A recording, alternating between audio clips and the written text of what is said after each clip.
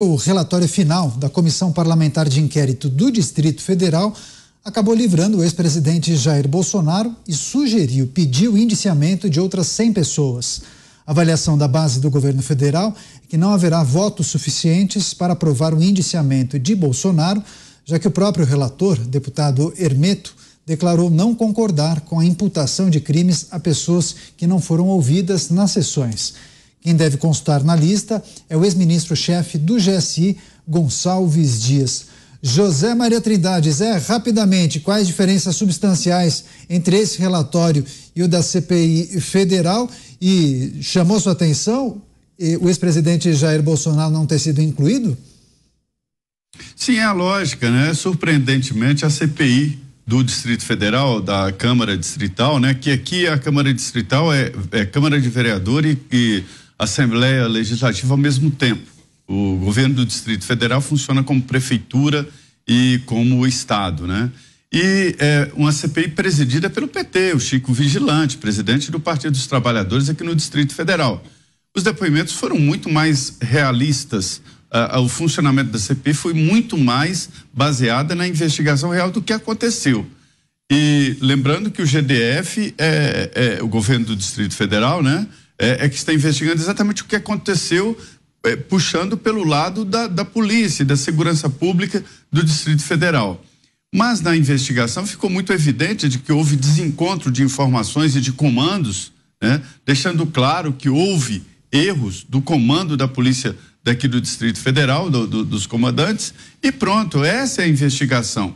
E o G. Dias, né, o general G. Dias, ele era o responsável pelo Palácio do Planalto, não era a polícia do Distrito Federal, Polícia Militar.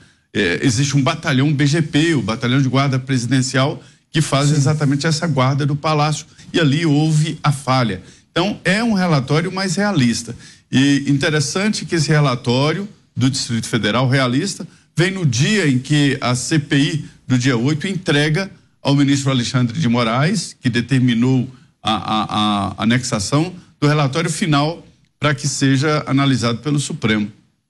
Cláudio Dantas, Dantas, em um minutinho, seu balanço sobre o trabalho da CPI distrital que acabou livrando Jair Bolsonaro, mas sugere e pede o um indiciamento de mais 100 pessoas.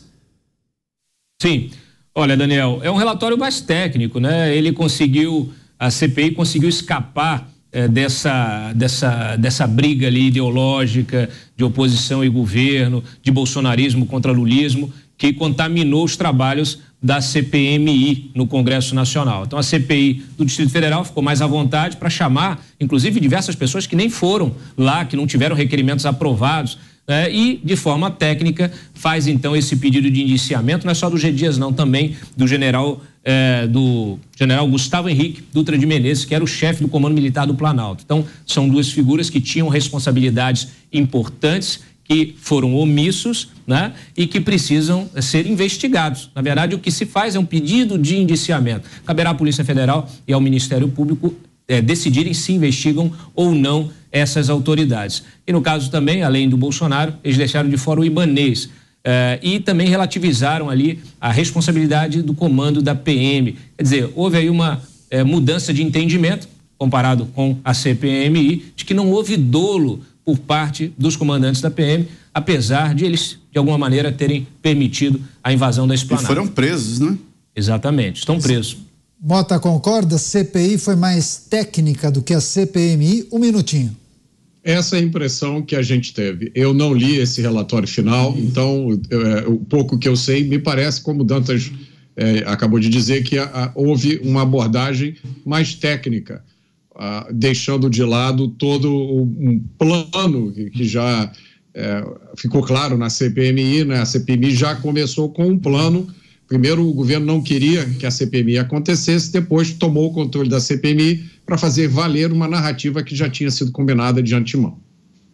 Programas Pingos nos Is, repercutindo o relatório final da CPI distrital em Brasília dos atos do dia 8 de janeiro. Beraldo, um minutinho para você fechar.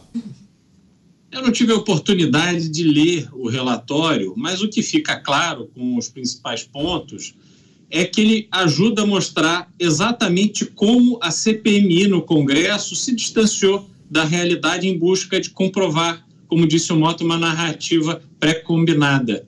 E aí a gente vê de forma muito interessante que essas mesmas figuras que se dizem muito chocadas e muito indignadas, porque no dia 8 de janeiro o Brasil viu a sua democracia ser ameaçada, hoje estão passando pano para um discurso antissemita que defende terrorista, assassinos que espalharam pelas redes sociais imagens grotescas, brutais de assassinatos que estavam cometendo. Mas a gente tem a esquerda indo à Avenida Paulista defender essas figuras.